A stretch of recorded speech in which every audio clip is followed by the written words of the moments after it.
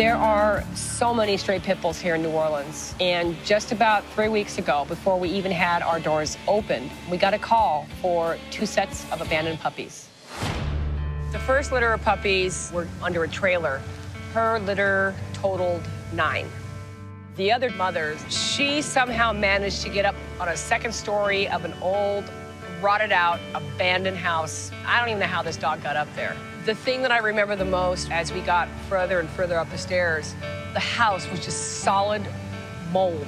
I couldn't breathe. It was like suffocating me. I was just like, you know, wheezing. It was never, never experienced that before in my life.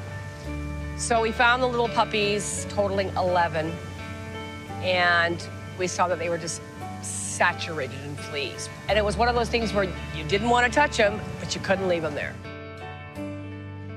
So altogether, between the two mamas, was 20 puppies.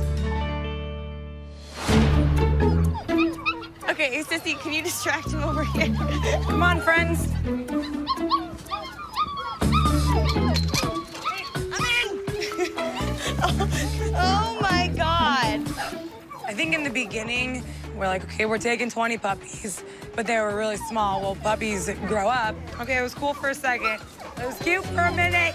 Taking on 20 puppies and their mothers, some rescue facilities have just 22 dogs. So basically what we did was bring home enough dogs to start its own little rescue.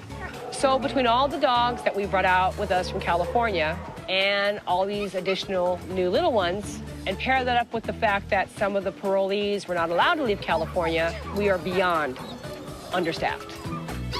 Hey, no one needs your opinion.